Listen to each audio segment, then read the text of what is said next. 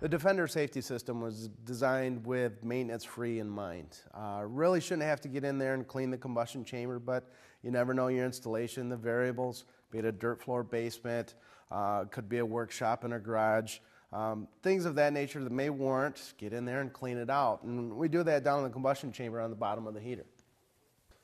So to take the, the front door to gain access to the combustion chamber, first safety first, make sure your gas is off, things are cooled down.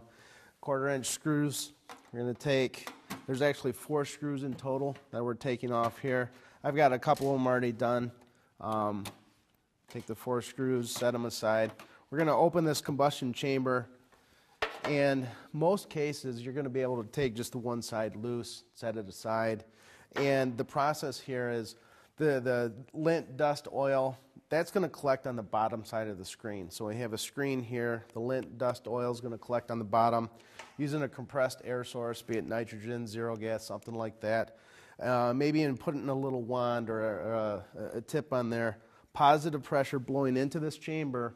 We're going to work to get those louvers, almost like that screen is almost like a louvered system, get it clean. But be mindful as you're blowing that compressed air in, out of these bottom louvers and even on the side here, you're going to have that lint, dirt, dust, that sort of thing flying out at you. So wearing safety glasses, maybe a mask, and even having a shop vac or some vacuum source to collect that debris as it's coming out at you. Uh, clean it up, get it as clean as you can, button it back together, and you should be back in business.